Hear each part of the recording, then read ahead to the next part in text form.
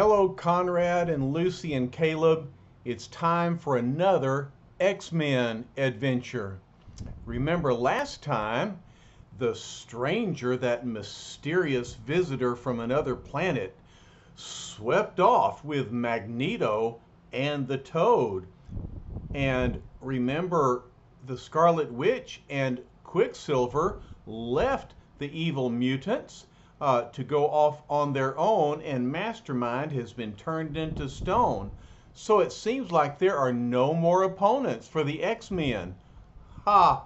Not at all. Today, we're going to be introduced to one of the most powerful opponents they have ever faced. And let's get a look at him. He's called the Juggernaut. Juggernaut means someone who is unstoppable. And so the, uh, the editors call this the almost indescribable menace of the Juggernaut. And in this tale, we learn the origin of Professor X. So he's going to tell us some of his backstory. Are you ready? Well, let's go. My, we're starting off with uh, Cerebro going crazy, making this loud scream alarm. And here come the X-Men. Here's Iceman saying, Professor, we heard that blood-curdling noise. What's wrong? Are you in danger? The Beast says, the sound is emanating from his desk. There's some sort of electronic apparatus secreted within. Oh, the angel says, My ears, the screech is deafening. What is it? Oh, my ears. And Marvel Girl thinks, I've never seen Professor X look so desperately fearful before. Cyclops, who is uh, now uh, Professor X's assistant, he says, Stay out, all of you. No one is supposed to know about the professor's Cerebro machine. Well, they're about to find out. And Professor X says, It's all right, Cyclops. Let them enter. We're about to face our most deadly threat. We, have, we can have no secrets from each other now. All right, so the editor says, We've got a startling, sizzling tale to tell you, and no time to waste with a long introduction. So let's go. We'll brief you along the way. All right, the angel asks, What is it, Professor? What danger do we face? And what does cerebro mean? Professor X answers, It's the only machine of its kind in existence. It gives warning of any mutant menace which may be near, and is still uh, alarming. Eee!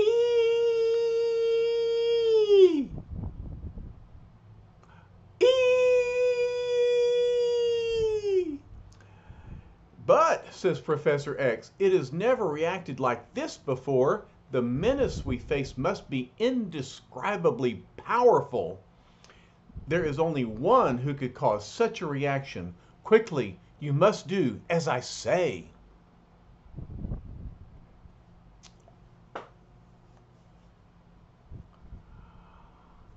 A moment later, having received their orders, the marvelous mutants race into action and uh, there's uh, uh, the beast with a spool of cable. It says, judging by the professor's agitation, our very existence is at stake. Uh, and the angel is flying. He says, I don't know what it is that he fears, but it must be something terrifying. Marvel Girl says he's never seemed this worried when we battled Magneto's evil mutants. Whatever it is, we can handle it assures Iceman. And uh, Cyclops is saying, Stop talking, move. You each know what to do. All right, so they're into action, preparing defenses against this coming menace. And look what uh, Iceman is doing. He, he says, This ice shield I'm putting up around the school ought to stop anything short of a Sherman tank. Look how thick it is. And ice that thick that high must be very strong.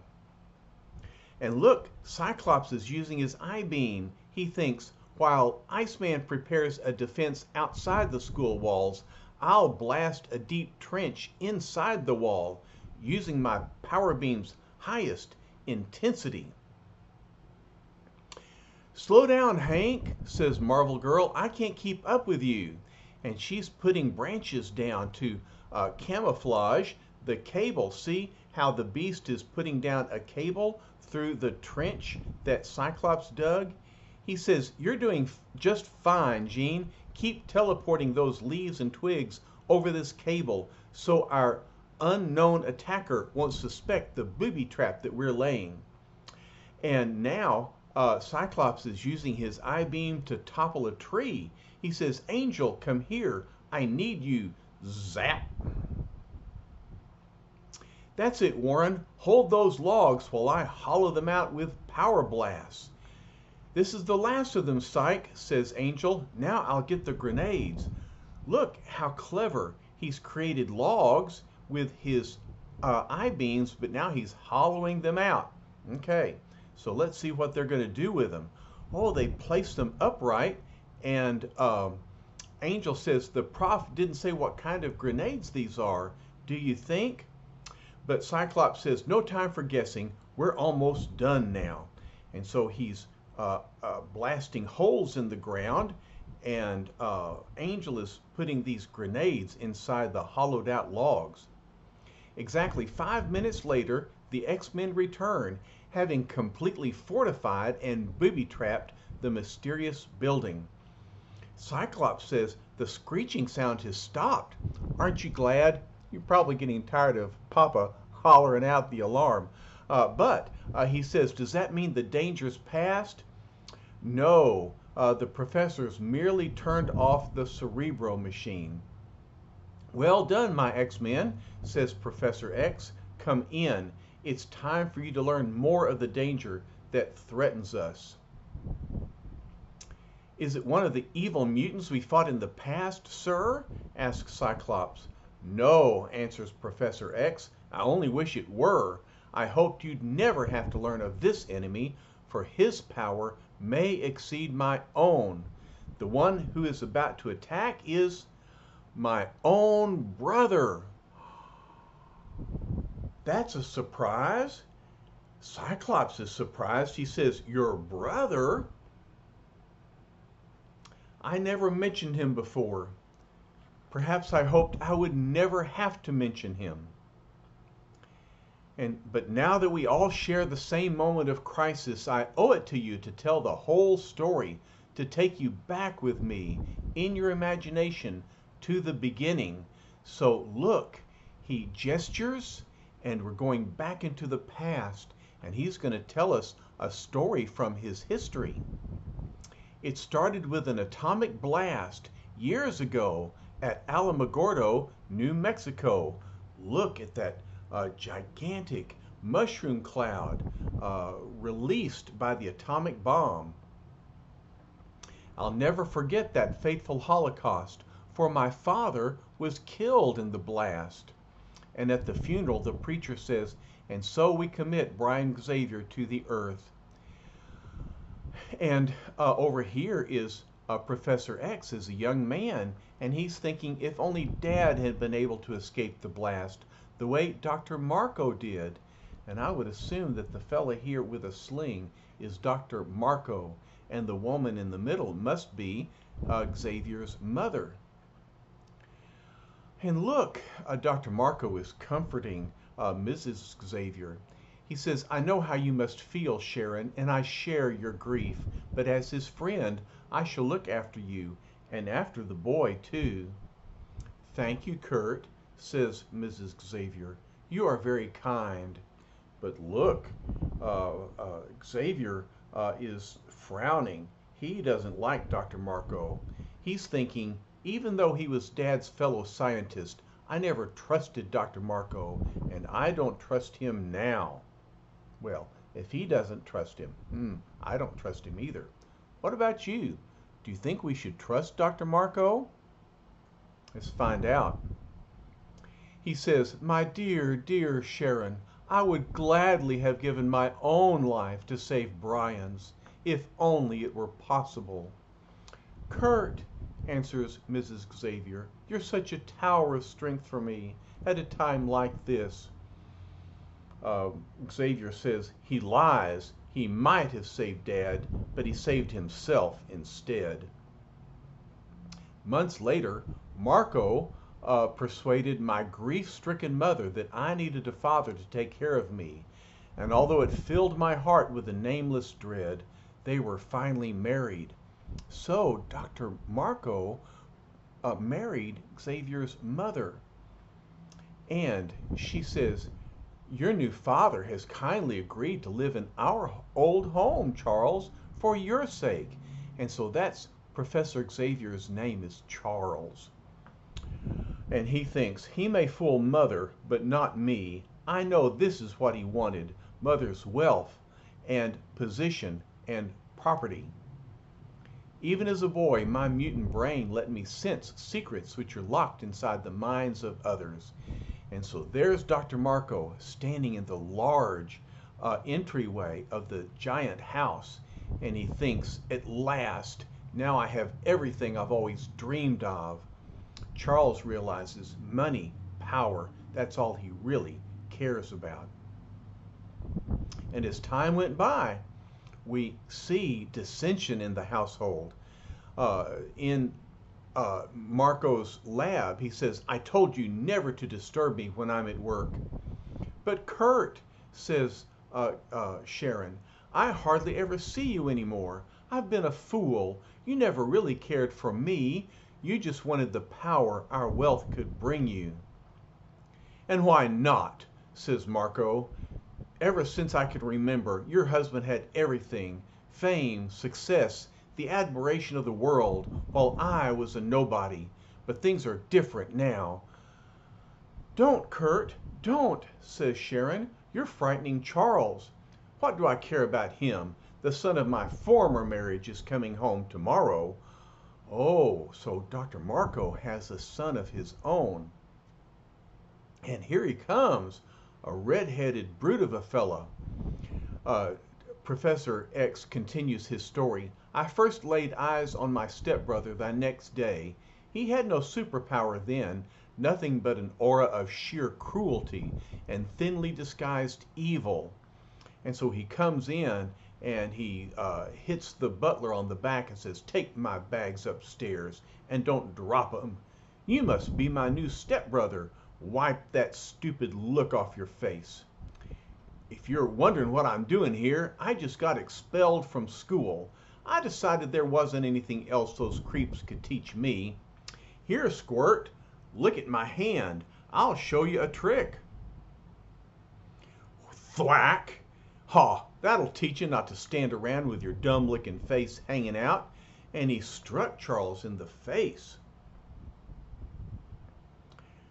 He sounds extremely unsavory, sir, says the beast. And I would say so. I think that's a very kind word for what he seems like very cruel and hateful. But, uh, Hank continues, what makes him dangerous to us now? After all, says Angel, if he has no superpower, he had none then, answers Professor X, but later. Wait, let me check Cerebro again and Marvel Girl thinks he looks more worried than ever. Whee! He's even closer, says Professor X. The sound is getting unendurable. His power must be greater than it was, greater than I feared. Cerebro is almost tearing itself apart. What is his power, Professor? asks uh, Iceman. No time for that now. He's reached the first barrier. Quick, to the window. All right, can you see these big red letters? What do they spell? Can you say it with me? E. Yep. There's your new sight word, Lucy. E. Listen, says Angel. It's the sound of ice being shattered. He's smashing Bobby's frozen wall. Bobby says, But I made it as thick as a concrete bunker. Nothing could shatter that quickly. Cyclops says, Give us the word, sir. We'll attack him. No, says Professor X, not yet. You can't begin to imagine what you'll be facing. Crack-a-boom, rumble. The ice wall is being shattered by uh, this mysterious opponent's great power. Look out, uh, says Angel. The entire building is beginning to shake. Shake. It's collapsing. And he's using only a fraction of his true power, says Professor X. Oh my, what a powerful character. Bobby, quick! Form an ice shield over Jean. Move, X-Men! Oh, and uh, Bobby says, I hear you talking, Cyke. Whew, I just made it. So he forms this shield over Marvel Girl. She falls down and says, I didn't see that falling chandelier. If not for Iceman, clack, the chandelier uh, breaks apart uh, as it strikes Bobby's ice shield. I'm so glad he was there to protect Marvel Girl. Woom! Crack! Listen, the remainder of the ice wall is being torn apart. I seem to see a figure out there, but it's so indistinct I can't really make it out among all the rubble, but we see the shadow of the coming menace of Professor X's stepbrother. Baroom! More noise as, uh, as, as they say he did it. The ice wall is gone. He's destroyed the first barrier. Look, he's destroyed all of the ice wall. It's now just a bunch of ice cubes. But how? What power did he use? asks Cyclop. Uh, Angel says the school stopped shaking. Why? What's he up to now? He's just toying with us, answers Professor X. He's showing his contempt for our defenses. Cyclops says, Shouldn't we rush out and fight him now before he comes closer? No, says Professor X. There's still time. Time for me to tell you more about how it all began. Crack, bram. Lots of noises outside as, uh, as the brother continues his onslaught against the X-Men's defenses. So, back to the story. Professor X says, It wasn't long before my heartbroken mother shut her eyes for the last time, joining her first husband, my father, forever. And so his mother passed away. And so uh, I was alone with them. Well, them, of course, is Dr. Marko and his uh, creepy son. Uh, Dr. Marko says, I told you not to disturb me when I'm at work. I'll leave as soon as you give me the money I ask for. You can afford it now. You inherited everything. And uh, Charles says, with mother gone, Marko controls my inheritance until I come of age. The answer is no, Cain. Cain is the name of uh, the stepbrother. Very appropriate. Uh, he continues, if you want money, go out and earn it as I did. I know how you earned it, says Cain. It was no accident that Xavier died at Alamogordo. Oh no. Marko says, You dare accuse me? Don't ever say that again. Do you hear? For as long as you live, don't ever say that again. You're too late, says Charles. I heard him.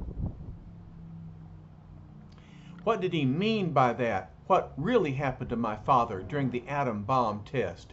Nothing, answers Marko. Nothing at all. He was just joking. He didn't realize what he was saying. I realized plenty, says Cain, and no bratty stepbrother's going to cause any trouble now.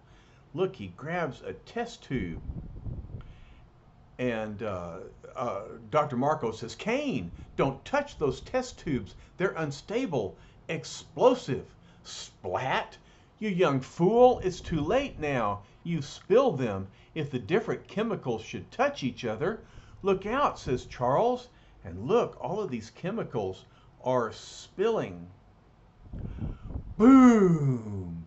Before another word could be said, the potent fluids did make contact, and that was the last I knew as a deafening explosion destroyed the lab and all its contents. It was then that my stepfather did the one unselfish deed of his life. Although fatally injured himself, he managed to carry Cain and me to safety as the life ebbed out of him. And then, with his last remaining breath, he gasped. Look, Marko is carrying the two boys through the flames. And he says, Charles, your father's death was an accident, but I might have saved him if I tried, but I didn't. Forgive me. Beware of Cain when he finds out about your power. Uh. And so Dr. Margot, I'm sorry, Dr. Marko expires. Uh, he dies while Charles and Cain look on. And Charles thinks power. He wonders what Dr. Marko is talking about. And then Professor X continues, he died, but his words proved prophetic for. But Marvel Girl interrupts, Professor, look out the window, that strange, dazzling light. What does it mean? And look out the window, this bright light exploding, uh, filling the room. Uh, and uh, Professor X says he reached the second barrier, an electromagnetic magnetic force field. It means he's fallen into the trench which Cyclops blasted into the ground outside. But, says Cyclops, the light is growing even more brilliant. The force field isn't stopping him. He's resisting it, trying to overcome it. Crackle. I can see a figure out there. It's standing upright. It doesn't even seem to be hurt or weakened, and it looks enormous. Look, you can see through the dazzling light of the cable and the electromagnetic, uh, electromagnetic current. As it crackles, you can see the silhouette of a giant figure. Zap! He isn't hurt, Jean. If he's lasted this long, it means the cable can't stop him. He, he's everything I feared he'd be, and more, as he grabs the cable and snaps it apart.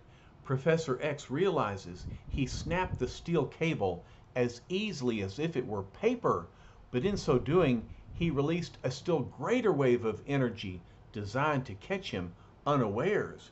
And look, Professor X is watching through uh, tinted goggles. Cerebro has grown no louder. The second line of electrical defense is holding, at least for now.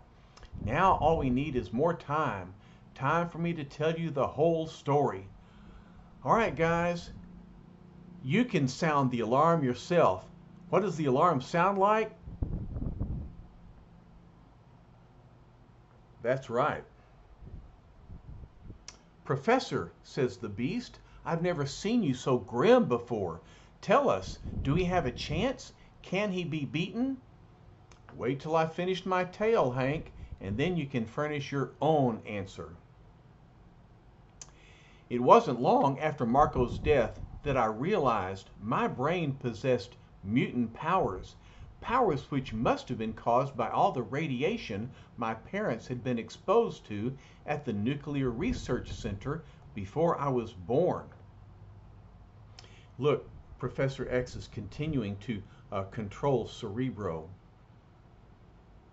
And he continues his story. The only outward sign was the fact that I began to lose my hair while still in my teens. Hmm. Do you think Papa may have a brilliant mutant brain? And maybe that's why I lost all of my hair? Probably not. But let's uh, keep reading.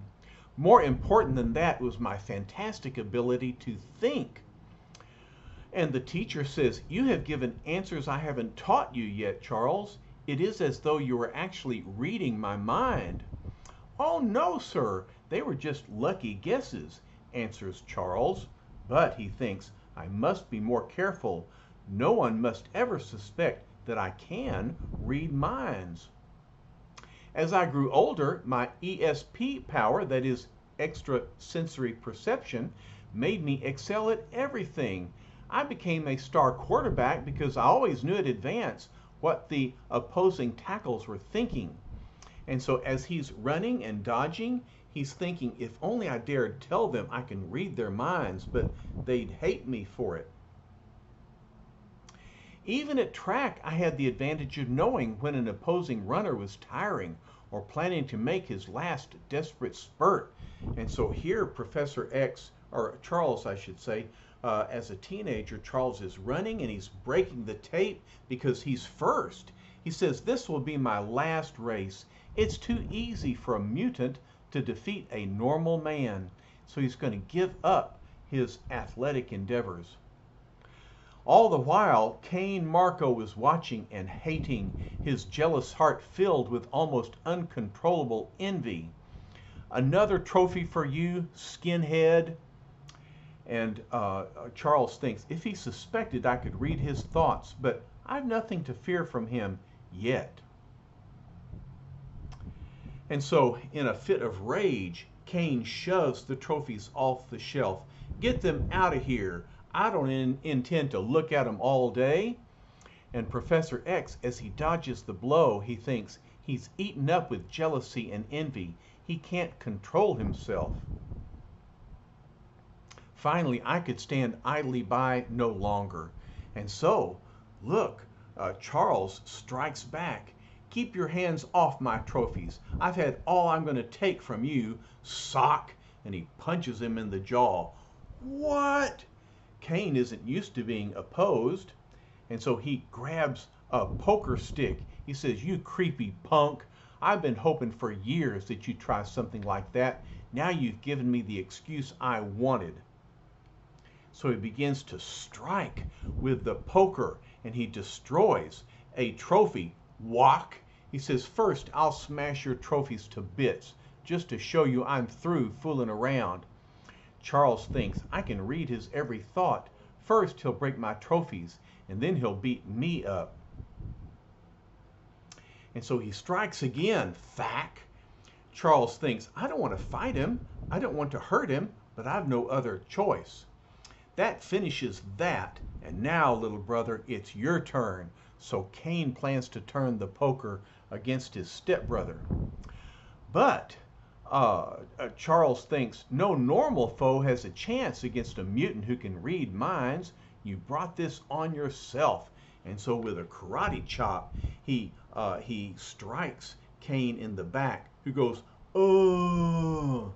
Okay, can y'all say that? Can you go, "Oh"?